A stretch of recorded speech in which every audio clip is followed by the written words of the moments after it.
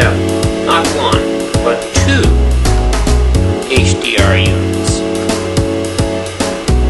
And here you see the two electromagnets hooked up to one bar magnet.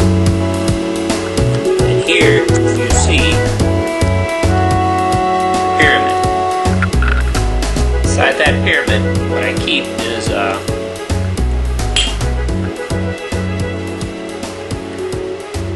quartz crystal. What I do with the quartz crystal is I put it inside the witness well. Let's turn the unit on.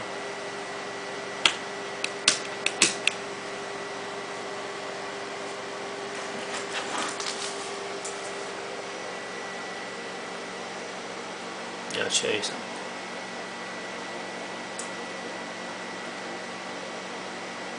See?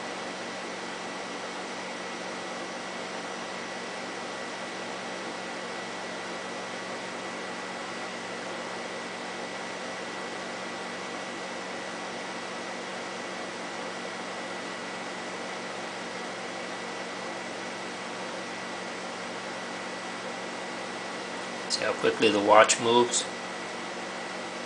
Now let's do another experiment with the watch here. This one, it's not turned on. Okay? Moves normally. This one is turned on. And notice how it moves a lot faster.